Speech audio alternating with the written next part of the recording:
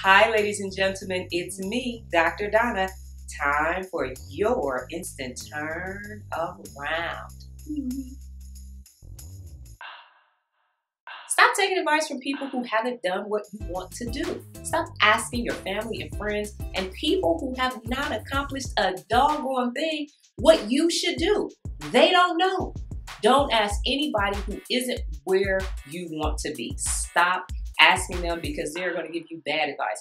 And I'm telling you, no advice is better than bad advice all day, every day.